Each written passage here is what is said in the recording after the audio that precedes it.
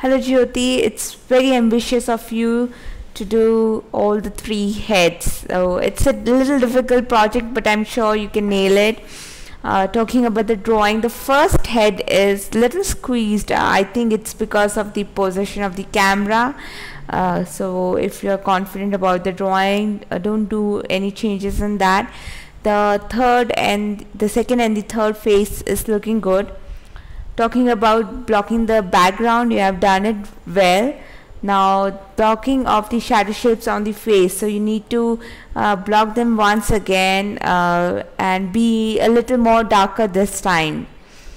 Uh, other values uh, can be worked more. I'm considering that this is like 50% complete uh, and you need to work 50% more. Regarding the drop of water on the face of the third one don't worry about it. Just cover up the values. We'll see what we can do uh, for that later